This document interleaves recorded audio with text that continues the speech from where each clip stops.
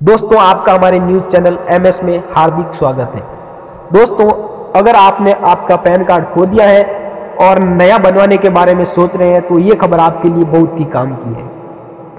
सही और पूरी जानकारी के लिए वीडियो को शुरू से लेकर अंत तक ज़रूर देखें। और एक छोटी सी रिक्वेस्ट है, यदि आपने हमारे चैनल को अभी तक सब्सक्राइब नहीं किया है तो सब्सक्राइब कर लें और पास ही में लगे बेलाइकन को प्रेस कर लें, जिससे कि आने वाली हर लेटेस्ट न्यूज़ आपको मिलती रहे। दोस्तों, इन स्टेप्स को फॉलो करके आप दोबारा नया पैन कार्ड बनवा सकते हैं।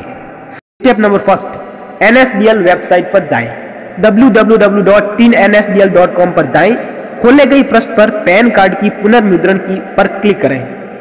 यदि आपको लिंक नहीं मिलता है तो सर्विसेज़ पर क्लिक करें और पैन विकल्प क्लिक करें।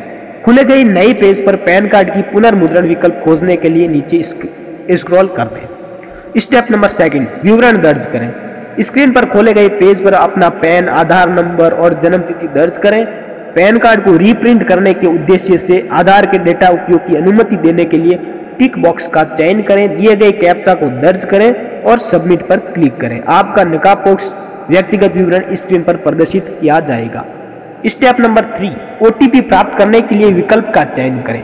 उस विकल्प का चयन करें जहाँ आप ओटीपी प्राप्त करना चाहते हैं।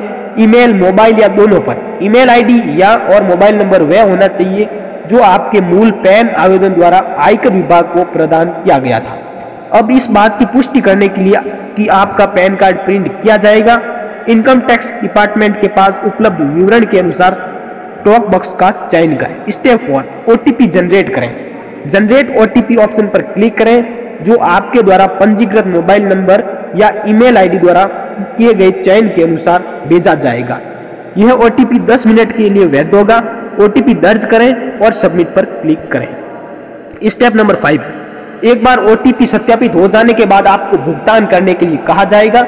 इसके लिए पे कंफर्म पर क्लिक करें, जिसके बाद आपको भुगतान गेटवे पर भेज दिया जाएगा। भुगतान करें और आवेदन के लिए पचास रुपए करों को मिलाकर के शुल्क की आवश्यकता होगी। स्टेप सिक्स भुगतान की रसीद प्रिंट करें। एक बार भुगतान सफलतापूर्वक हो जाने के बाद लेन देन का विवरण आपकी स्क्रीन पर दिखाई देगा। भुगतान रसीद को जनरेट और प्रिंट करने के लिए जारी रखें, पर क्लिक करें। A N M S M S आपके पंजीकृत मोबाइल नंबर पर पावती नंबर के साथ भेजा जाएगा। इस एसएमएस में आपका ई पैन डाउनलोड करने का लिंक भी होगा। तो अगर मेरे द्वारा दी गई जानकारी आपको पसंद आए तो वीडियो को लाइक और शेयर करना बिल्कुल भी ना भूलें।